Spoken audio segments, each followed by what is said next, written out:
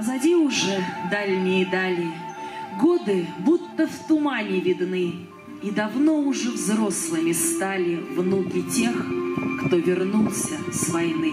Мероприятия, посвященные Дню Победы, проходят в эти дни у всех воинских мемориалов городского округа Щелково. На митинг у памятника, где увековечены имена не вернувшихся с фронта жителей села Жигалова, собрались местные жители, представители общественных организаций, активисты Совета ветеранов. Стоит напомнить, что этот мемориал на улице Московской был совсем недавно благоустроен. Здесь спилили засохшие деревья и высадили молоденькие елочки, а ограждения вокруг оформили в стиле граффити. Первичной ветеранской организацией микрорайона Жигалова руководит Надежда Егоренкова. Выступая на митинге, она с горечью отметила, что с каждым днем ветеранов, живых свидетелей Великой Отечественной войны, становится все меньше. За последние полтора года ушли 13 человек.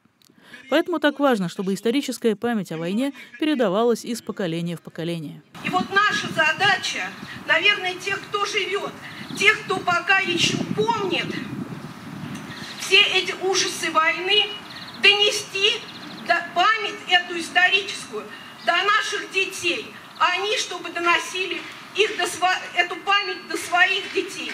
Надежда Ивановна всего год руководит Советом ветеранов, но уже успела завоевать уважение и даже любовь местных жителей. Еще бы, такой яркий, ответственный, а главное, творческий председатель.